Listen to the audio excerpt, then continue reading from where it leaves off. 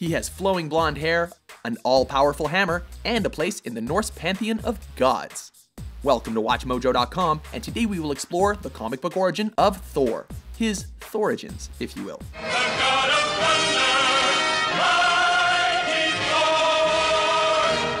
As with most comic book characters, there are often reimaginings and different versions to a character's past. We have chosen to primarily follow the storyline which unfolded in 1962's Journey into Mystery number 83, and was expanded upon in 1968's Thor number 59 and 1983's Thor Annual 11. Vastly different from the Thor that audiences know today, the Marvel hero once possessed a secret identity which was central to the character. In fact, Thor's original comic book outing began following an American doctor named Donald Blake, who was visiting remote parts of Norway. It was during his trip that Blake encountered aliens from Saturn who were scouting Earth in the planning of their grand invasion. Attempting to hide, Blake ducked into a nearby cave, only to discover that a large boulder blocked the other exit. Just as he was about to be discovered by the aliens who were nearly upon him, a secret door opened and Blake stumbled upon a relic, an ancient cane. Nearly out of time and fresh out of options, the frustrated Blake struck the boulder with the cane, which incredibly transformed it into a mighty hammer, and himself into Thor, the Norse god of thunder. As Thor, he was able to easily move the boulder and escape the cave. He then discovered that in order to remain as Thor, he must continually hold the hammer, which held untold abilities and powers.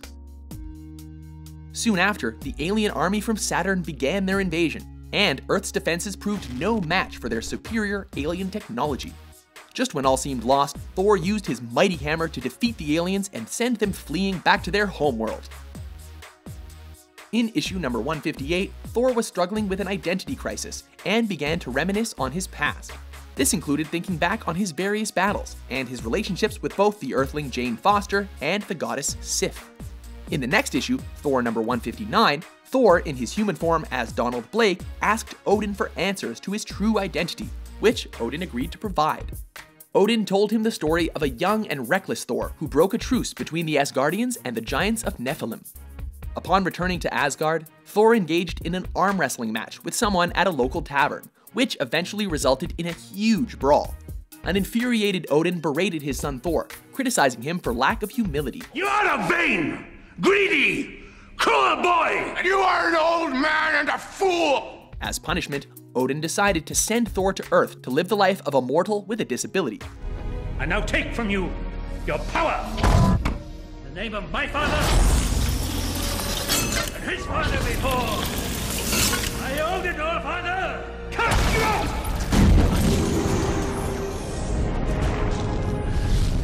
Also made Thor a doctor, so he would be forced to help the sick and the wounded. It's too quiet. I don't like it. Something is about to happen. I can sense it in the air. I'd better search the streets for telltale signs of danger. Odin had likewise hid the mighty hammer Mjolnir, but orchestrated events so that Thor would eventually find it only after he learned his lesson. Whosoever holds this hammer, if he be worthy, shall possess the power of Thor. Thor's origin was expanded even further in Thor Annual number 11. Here, Odin was shown to have wanted a son with the power of both heaven and earth. Visiting Midgard, or Earth to us, he seduced Jord, the personification of the earth. When Thor was born, Odin brought him back to Asgard to be raised by his wife, Frigga. She was totally cool with it though.